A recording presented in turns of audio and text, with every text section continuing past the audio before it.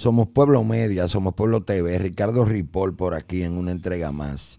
Como siempre, dándole las gracias a esos fieles seguidores y recordándole a aquellos que nos ven y no nos siguen que lo hagan para que nos ayuden a seguir creciendo. Y unas sinceras y de corazón a esa diáspora, ese dominicano ausente que sueña con su país, siempre nos está dando seguimiento, comparte nuestro contenido, nos comenta y nos apoya. Y para nosotros eso es súper, súper gratificante. Y también quería eh, darle las gracias a la gente de FJG Sportwear, la gente que traen todos esos productos de Columbia y de otras marcas también, que son los que nos ponen a valer con la camiseta. Miren qué chula está esta, tropical. Ellos están ubicados ahí en los jardines del embajador. Es la última edificación antes de entrar al área del parqueo del hotel, a mano izquierda en el segundo piso. Miren, señores, hoy es un programa, yo que la mayoría de las veces estoy peleando, que para mí es una chulería. Yo estoy feliz y yo entiendo que debe ser una celebración. Hoy tenemos como invitado al doctor Remberto Pichardo Juan, que viene a hablarnos de una sorpresa que recibimos todos, porque nosotros vivimos accionando, él también, y por lo general se hacen caso omiso de peticiones. Pero vamos a abundar sobre dos casos, y uno, que es el que yo entiendo es motivo de celebración, no solo de nosotros, pero de todo el pueblo dominicano, e inclusive del gobierno del cambio. Porque si tuviera buena voluntad, ahora vamos a ver si es merengue o es bolero. Y vamos a ver si ellos se animan a convocar al Consejo para tomar una decisión frente a este caso, en caso de que se obtenga ganancia de causa, que yo creo que sí. Señores, se obtuvo eh, una fijación de audiencia para un recurso de inconstitucionalidad desde el, desde el principio, o sea, de cómo fue elegido, cómo fue eh, seleccionado y cómo no debió de ser ni siquiera postulado ni aceptar, no el, cargo de presidir la Suprema Corte de Justicia, sino como simple juez. Y estamos hablando de Luis Henry Molina. Bienvenido, Remberto, ¿cómo estás? Gracias, gracias, complacido de estar aquí en mi casa de nuevo. No, tú sabes que esto es tuyo, hermano. Gracias. Mira, empezando para yo echarle un chin de, de picante a la situación, Remberto, porque de verdad que estoy contento con esos resultados. ¿eh? Claro. Ah, miren, y, déjenme decirle que inclusive, ustedes saben que nosotros fuimos uno de los primeros abanderados en tratar de desenmascarar a ese presidente de la Suprema Corte de Justicia, de nombre Luis Henry Molina, quien tuvo asiento en Palacio en su momento, tuvo en CRD, tuvo en Indotel, fue miembro del Comité Central y renuncia al Comité Central y al PLD cuatro horas antes de tomar posesión como titular de la Suprema Corte de Justicia. Eh, nosotros hicimos una serie de programas de evidencia, pudimos demostrar algunas cosas y eso está como parte y soporte de las pruebas del recurso que sometió el doctor Remberto Pichardo ante el Tribunal Constitucional. Tú puedes, ah, ¿qué te iba a decir? Cuando tú me enviaste el documento ya de la fijación, yo vi que decía de que la sala Augusta. A mí me sorprendió sobremanera, Remberto, y te voy a decir por qué. Según fuentes extraoficiales, ¿verdad? Contacto que uno tiene, conversaciones que uno tiene, me dicen que empezó una rencilla entre el Tribunal Constitucional y la propia Suprema, porque le negaban sala de audiencia de que, estaban ocupados. Y el Tribunal Constitucional tenía que ver en la obligación hasta de alquilar o pedir prestado salones donde pudiera eh, hacer sus audiencias. ¿Eso es cierto? En la UNFU, sí. En la UNFU, el recurso de inconstitucionalidad que nosotros presentamos contra el pacto eléctrico y el pacto por el agua se conoció en un salón, en una sala teatral, dicho sea de paso, de la UNFU. Así mismo. Porque Luis Henry Molina le negó.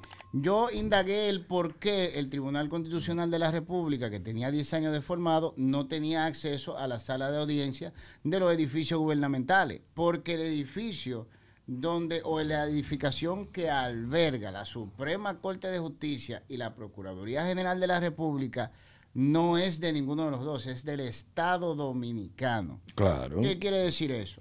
Que si tú tienes un órgano jurisdiccional, que como se le dice a los tribunales, como y el máximo. Que Eso yo te iba a decir, el constitucional es la más alta, exacto, corte. Entonces, como órgano estatal debe de tener acceso a las edificaciones del Estado Dominicano, máxime aquellas que están preparadas y tienen salas de audiencia para que se celebren en ellas. Entonces, Cuando indago me dicen que Luis Henry Molina, no sé con qué atribución o de dónde sacó él la idea de que ese edificio gubernamental era suyo y le negó sistemáticamente las audiencias en la sala augusta del edificio donde se encuentra la Suprema Corte de Justicia y la Procuraduría al Tribunal Constitucional. Y digo yo, oh, oh, ¿y de dónde sale eso? Y ahí me dijeron que cuando el Tribunal Constitucional anuló a futuro las Ah. audiencias virtuales, digo a futuro, porque como estábamos en la pandemia, hubo la obligación, bueno, pues, de dejar pasar ciertas cosas. Pero luego de ida la situación especial de la pandemia, entonces entra todo el rigor que deben de tener las audiencias. Y las audiencias virtuales son una buena herramienta, pero en condiciones normales prácticamente te niegan a ti lo que es la publicidad del proceso Claro. que es un requisito sin non, las audiencias deben de, de ser Pública, públicas, oral orales y y, contra- contradictorias. ¿Por qué la publicidad? Porque lo que hace el juez, todo el pueblo tiene derecho a verlo. Si el juez comete una ilega- ilegalidad, el que está ahí sentado es testigo de esa ilegalidad. Ese es el control del juez por el pueblo. La audiencia virtual te la niega.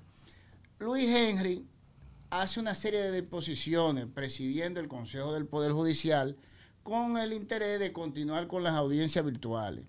Se someten varios recursos al Tribunal Constitucional. El Tribunal Constitucional anula a futuro, falla en su contra y le dice que él no tiene la potestad de legislar, que solo el legislador puede hacer una cosa así.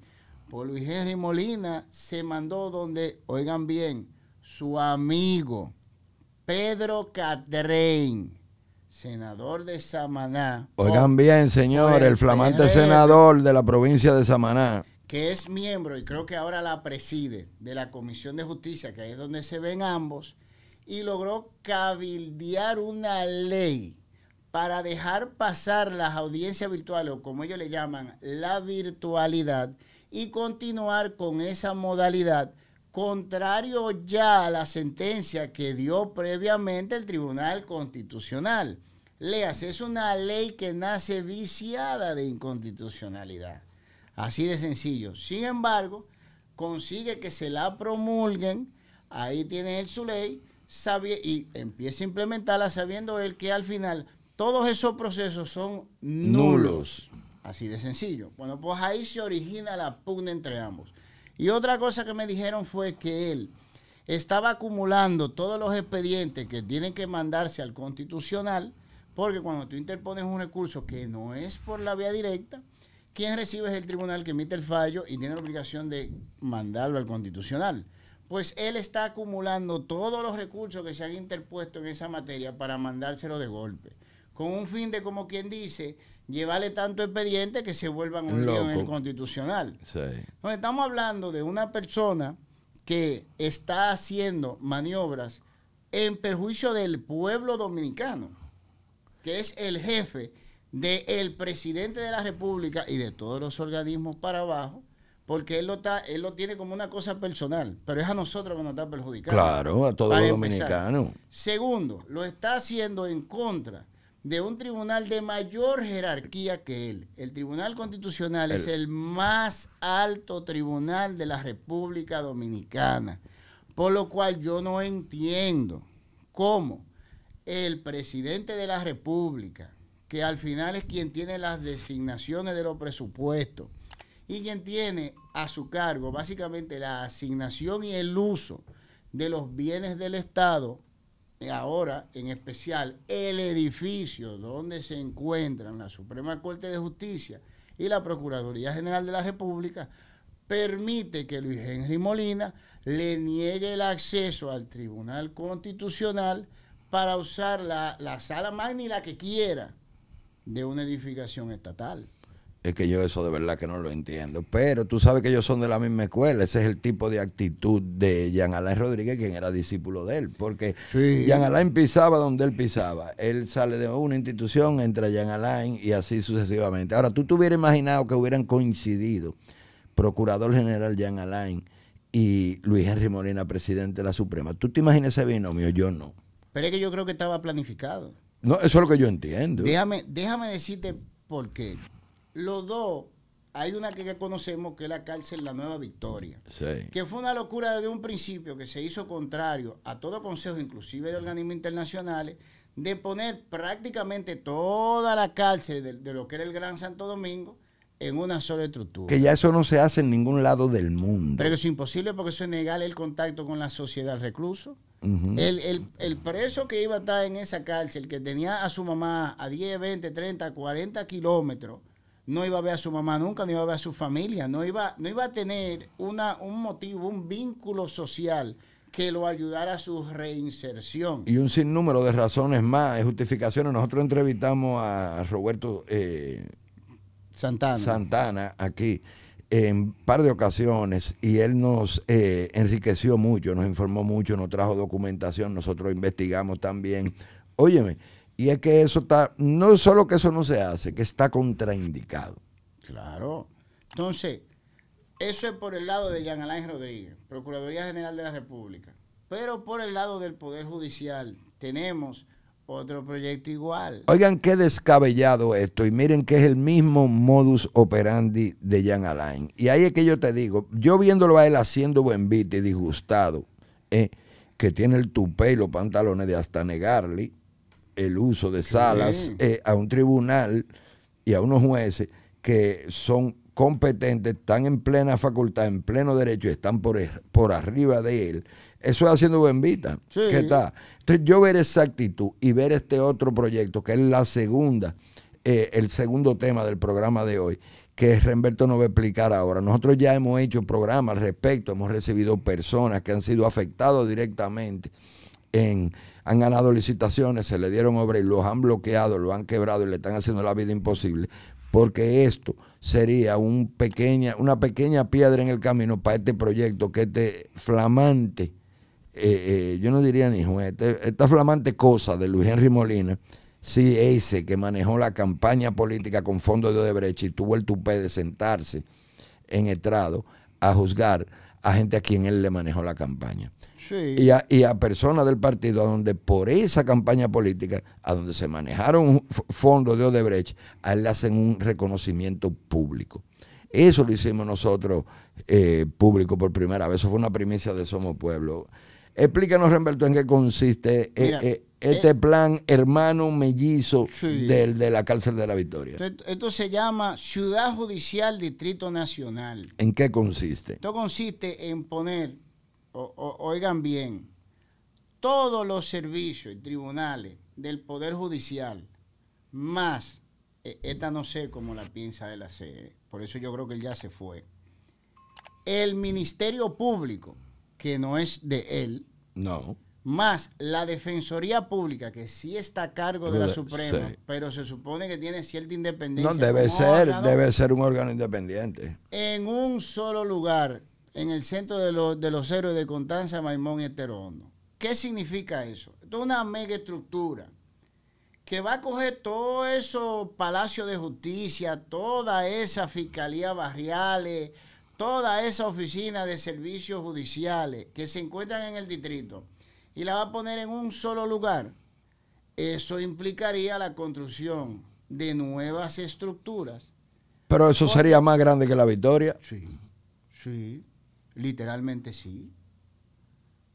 No te dejes agarrar por la gripe. Toma Saca Grip, que te ayuda con esa molestosa tos, congestión nasal, dolor de garganta y resfriado común. Así que revive naturalmente con Saca Grip, disponible en República Dominicana y todo Nueva York. Carmi Comercial, joyería, perfumería y accesorios en general, ubicado en la avenida Duarte número 5 del barrio chino en Santo Domingo tu regalo para él y para ella. Llama al 809-686-1057. Omnimen es una línea de productos especializados para el cuidado del pelo y la barba del hombre.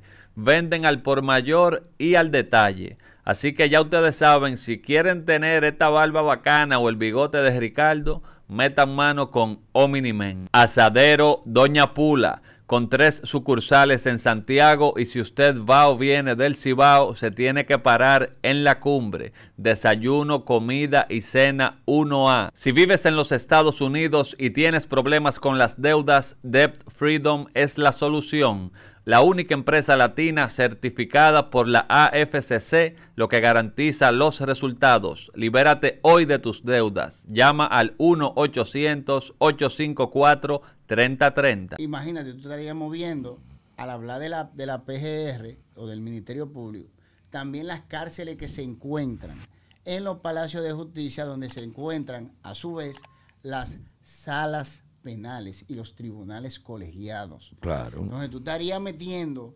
todo eso en un solo lugar. Ahora imagínate que tú tenías acceso a la Fiscalía Barrial de Arroyo Hondo. Si esto se da, que no sé cómo en su mente él pretende hacerlo, porque al parecer él le quiere bajar raya al constitucional y según este plan le bajará raya a, a Miriam Germán Brito, a Jenny, a, Camacho, a Camacho y, a, y al Consejo del Ministerio Público entero, porque eso está aquí en esta certificación. Que de hecho hay una pequeña eh, eh, eh, pugna ahí, porque ellos ya el, el, Ministerio Público se ha manifestado públicamente, Renberto, diciendo que como que los jueces están al servicio del mal, que están cambiando su criterio, están cambiando todo. Pero nosotros no sabemos si es una manera de meter presión para que esto pase. Yo entiendo que sí, por eso te lo digo. Ahora bien, yo dentro de mi ignorancia, yo no soy abogado, yo he participado muy, en muy pocos procesos judiciales y no es mi área.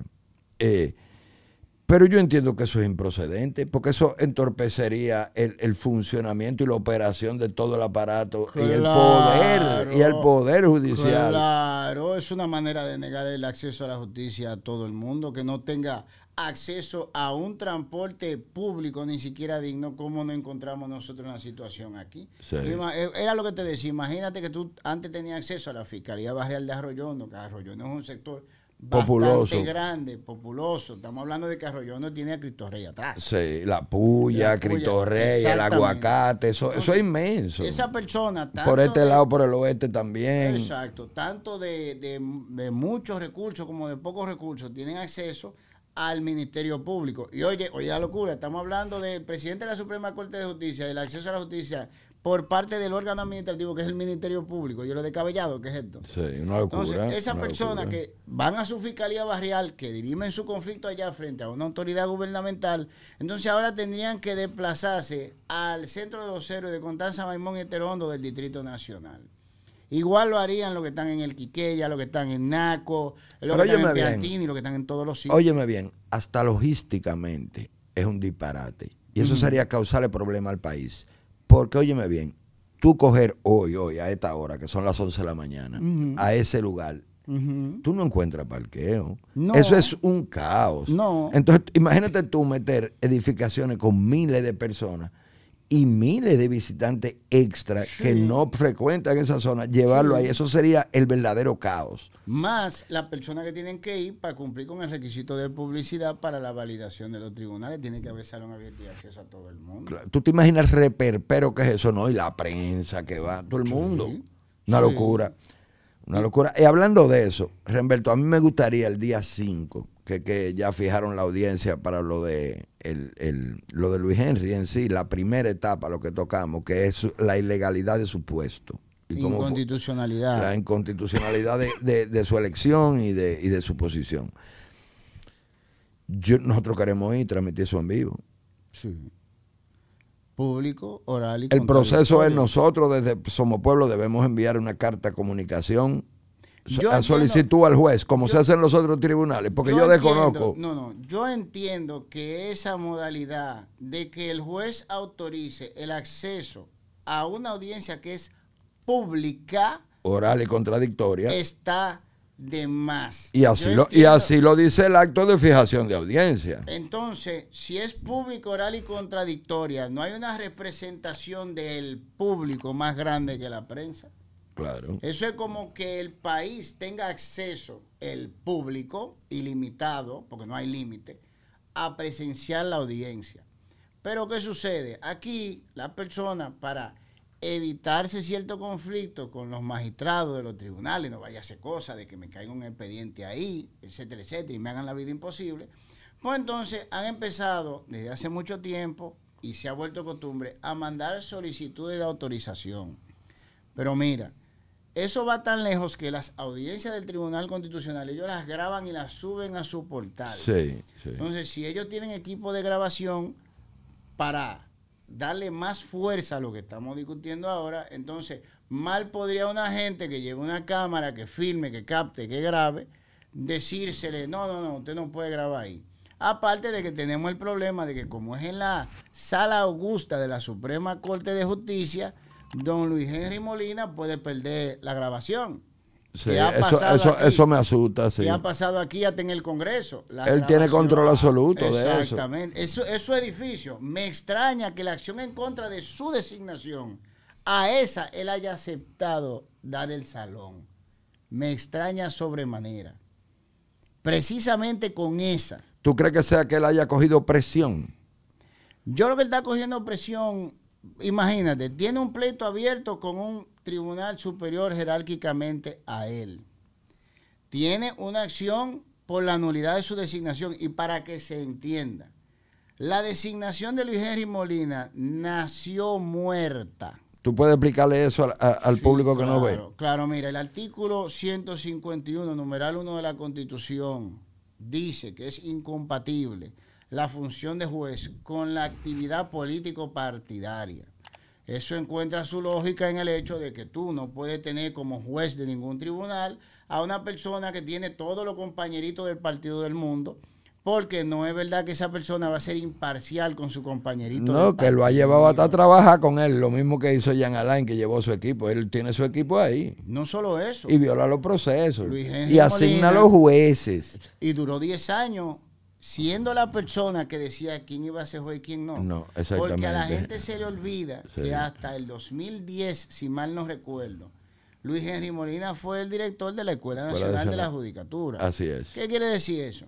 Que siendo él político, con una actividad político partidaria Calificaba- reconocida, estaríamos hablando de que la persona que decía quién iba a ser juez era miembro activo de un partido político. Entonces, ¿cómo tú sabes que los jueces no son compañeritos de él con toga, que él metió ahí adentro? Hay muchos que son buenos, imparciales, pero hay muchos que no y que están puestos ahí estratégicamente. Exactamente. Eso lo hemos hablado repetidas veces. Cuando él asciende a la Suprema Corte de Justicia, Y él tiene un equipo de trabajo claro, a nivel nacional. a nivel Son nacional. 10 años. Sí. Él puede llamar, él, eh, un compañerito va donde él le dice, mira Luis Henry, yo tengo un problema, este tipo me está cayendo atrás. Y Luis Henry desde su escritorio, con el sistema que tiene la Suprema, mete el nombre del tipo y puede ubicar una demanda en cobro de peso contra el tipo en Neiva y allá llamar a una de sus gente y decirle, óyeme, condéname a ese tipo, vamos a hacer la vida Rómpelo, imposible, rómpelo. rómpelo. Él tiene ese poder. No estamos afirmando que lo haya hecho, No. pero lo tiene. Pero uno sin prueba y sin acusar y sin señalar, pero por toda la denuncia, el contacto con personas que uno tiene, eso es una práctica común en la justicia. Cómo el tráfico de influencia, el tráfico de poder se refleja en las decisiones de los jueces o en engavetar casos que nunca, que nunca progresan. No, no somos tú y yo que lo estamos diciendo, No. Jenny Berenice Reynoso que lo está dijo, declarando. lo dijo, claro. Pública y abierta y responsablemente Sí. lo está diciendo que se le está variando el criterio. El criterio. Así de sencillo. Sí. Entonces, no es una cosa que no estamos inventando Ricardo No. Ripoll y Humberto Pichardo, es una cosa que está en la palestra pública, se ha dividido y por autoridades gubernamentales. ¿eh? Exacto. Así de sencillo. Entonces, por eso existe esa prohibición en la Constitución. En el momento en que se presenta a Luis Henry Molina como candidato, Ahí mismo debió ser descartado. Claro, claro, y no solo eso, ustedes mismos hicieron público la foto de él teniendo actividades de proselitismo campaña, político, sí, político con los partidario. colores y logos y todo. Sí, y yo te digo a ti que ese salón donde estaban esas personas es del edificio de la Suprema Claro, Corte de claro, claro Yo tengo es. más de 20 años pisando ese edificio. Claro que sí. Yo te digo que eso es un salón de ahí. Eso ya es ilegal. Entonces, la evidencia de la actividad político-partidaria que Dentro anula- de la Suprema Corte. sí, que anula y anuló de- desde un inicio, o sea, que hizo que naciera muerta su designación como juez de la Suprema Corte de Justicia, es pública. Esos videos lo han visto más de 80 mil. Tú pones pruebas de programas de José Peguero, de programas nuestros, hay varias evidencias. Claro que sí, porque es una evidencia que se hizo pública. Es innegable su existencia. Entonces, siendo así la cosa, si el Tribunal Constitucional de la República Dominicana, que era lo que yo hablaba con un jurista compañero mío, desea asumir el rol que le toca dentro de este desastre que estamos viviendo como máximo órgano jurisdiccional. O sea, ese es el control del mismo presidente de la República. Claro. Ese es el control del Congreso Dominicano. Claro. Ese es el control de una Suprema Corte de Justicia. El que preside el Poder Judicial, señores, de los tres poderes que nos rigen a nosotros. Exacto. Ese es el control de todo. Ese es el que impone la constitución de la República. Si quiere tomar su lugar y jugar su papel histórico, este es el momento. Yo entiendo que sí. Y para, este y para concluir, Remberto, ¿cuáles son? Yo tengo dos preguntas. La que tú quieras. Una, ¿cuáles son tus expectativas de esa audiencia? Una. Dos, en caso de que se falle a favor de nuestra eh, petición, ¿verdad? Y lo que nosotros tenemos años peleando. ¿Tú crees que desde el Poder Ejecutivo se convoque al Consejo para cambiar eso? Vamos a hacerlo. ¿Tú sabes por qué te hago la pregunta? Porque cuando eligen a Luis Henry Molina, que ese, ese famoso eh, juicio televisado, porque ahí fue que aquerosearon a doña Miriam Germán, aquerosearon a muchísima gente, fue un proceso eh, porque oye bien, independientemente, independientemente de las descalificaciones eh, per se que tiene Luis Rimolina, y ese proceso en sí se, se autodescalificó también por cómo fue manejado. Sí. ¿Entiendes? Entonces, viendo nosotros eso, ahí está el presidente del partido del PRM, era diputado en ese momento, no era senador todavía, o sí, ya era senador, era senador que es José Ignacio Paliza y presidente del PRM, y se despacha con que este es el mejor candidato y el mejor eh, jefe de Suprema Corte de Justicia que nosotros tenemos y el menos político. Digo yo, pero es loco que nos estamos volviendo. Entonces, te hago la segunda pregunta, si tú crees que se atrevan a convocar consejo para hacer un nuevo proceso y descalificarte y sacarlo de ahí. Esas son mis dos preguntas. Mira, vamos a hacerlo al revés, vamos a empezar por la, por la última. El Consejo Nacional de la Magistratura debió convocarse para anular, si se quiere, la designación de Luis Henry Molina. Eso es lo que yo entiendo. Desde el primer programa de ustedes. Desde el primero. Porque a mí no me diga Luis Abinader, a mí no me diga Paliza, pero lo sabemos nosotros este- con limitaciones. y ellos no lo iban a... Perdón, que ellos no ven este programa. Ellos lo ven. A mí que no me lo digan. Ellos lo ven. Entonces, desde ese momento debieron decir, no, espérate, acá hay un problema. Si, si, no hacemos, si no hicimos lo loco, ya está público. Esto hay que resolverlo. Pues esto es un problema y va a generar más problemas. Entonces, el deber de ellos era decir, no, espérate, aquí hay, igual que cuando un juez se Igual que cuando un juez muere. simplemente el primer sustituto asume que en este caso, en este caso sería Carbucia, que es el primer sustituto, que es un juez de carrera, dicho sea de paso. Que yo entiendo que, que pudiera hacer una mejor labor, yo entiendo. Claro, es un juez de carrera. Y déjame decirte, el, a a mí me ha fallado en contra muchísimas veces pero lo ha hecho con criterio. Una vez iba yo a pelear con Calbucci y me pegó con todos los libros. Decirme, no, señor, yo sabía que tú venías. Mírelo aquí, la justificación de donde yo la saqué. O sea, estamos hablando de un tipo que es juez, un juez natural, si se quiere. Asumiría en lo que llegamos al periodo en el cual se tenga que convocar para la elección de nuevos candidatos. O sea, eso no es nada. Sin embargo, no lo hicieron. El hecho de que Paliza hiciera esas declaraciones. Una locura. Yo, yo la única justificación que puedo buscar es el hecho de la vinculación que existe entre Jean Alain Rodríguez, Luis Henry Molina y el ex ministro de la presidencia, Lisandro Macarrulla.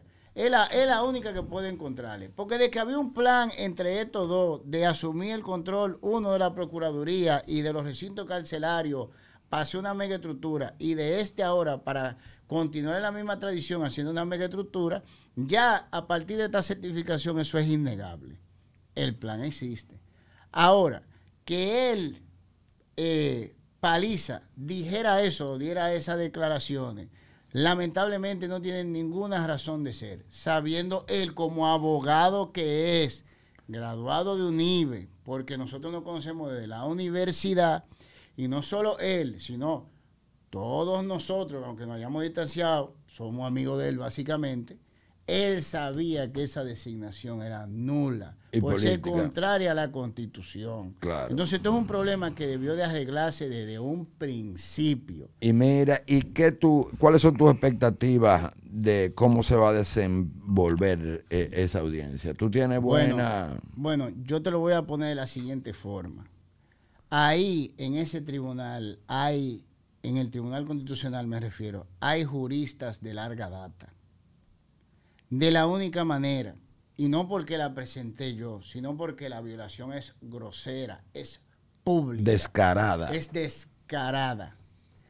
Que esa acción se pueda rechazar, ya sería porque esos juristas empeñen su moral, empeñen su carrera de larga data reconocida en beneficio de una decisión política. Que ya lo hemos visto, ¿eh? Sí, eso- lo vimos, nosotros vimos Eso no es nada nuevo a aquí. Subero Isa decir que la decisión del caso de la Sunlan, cuando la Suprema Corte de Subero Isa estaba haciendo las veces del Tribunal Constitucional, Constitucional. fue una decisión política. Eso no existe. Las decisiones se basan en la ley y la constitución Claro, internacional. claro. Y que las presiones eran Es que la justicia no puede ni debe ser influenciada por nada. Y puso como excusa una parte que me alegra que me haya dado la oportunidad de, de traer a colación. Él dijo que si esa sentencia no se hubiera hecho así, las consecuencias para la República Dominicana hubieran sido catastróficas. Y yo me pregunto, ¿lo amenazaron desde el Palacio Nacional con que iban a, a- a matar a la población? Lo amenazaron con que iban a matar a su familia o la familia de todos esos jueces. Amenazaron con que iban a, a matar a los senadores, a los diputados, que se iba a tambalear el Estado Dominicano. Entonces que no me diga Subero Isa a mí que iba a haber consecuencias catastróficas para justificar el hecho de que ellos le cogieron presión al palacio, tal y como él dijo, y emitieron un fallo. Ahora también yo quisiera que me dijeran cuáles fueron esas presiones.